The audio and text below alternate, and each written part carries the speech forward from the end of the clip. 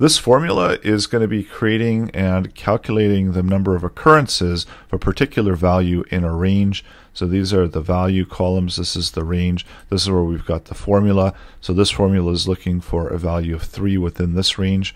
It occurs twice. Here the value of 5 occurs once. Here the value of 2 occurs 5 times, 2 occurs 0, and foo occurs 3 times. So this is the app script that's behind the scenes for the formula that's being used within the sheets.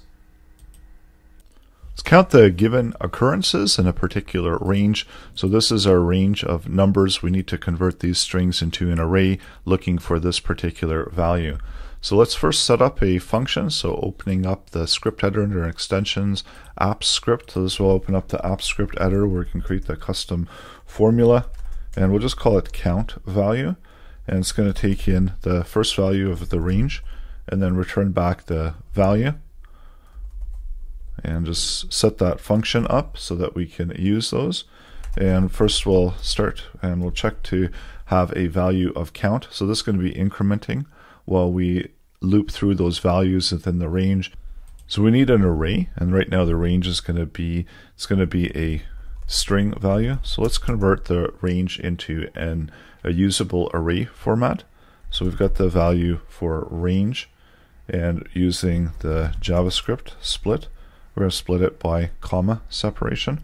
So that will separate each one of those values. And then we want to return back.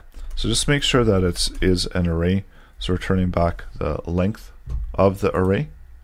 So that's going to return back 5. So it does see 5 values in there. 6. And so that's all working where it's calculating and it's taking it in as an array. And so we want to now loop through the arrayed items.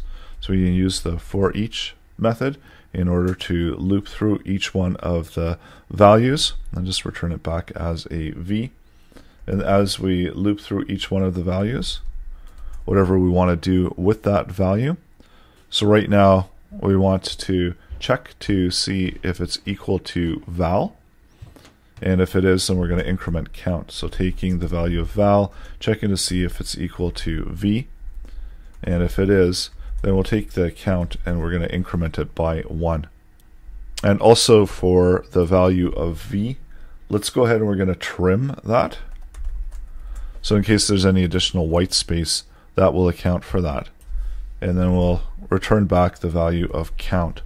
So it's just doing a simple counter for the occurrences. So in this case, we're looking for occurrences of 3 within this array. Update that. So now we've got two occurrences of the value 3. Here we've got three occurrences of foo. We've got zero occurrences of the value of 2. If we change that to 1, we'll have the 5 occurrences. And now we've got the return back counter of the occurrences of the values within the string arrays. And then you can update these as needed.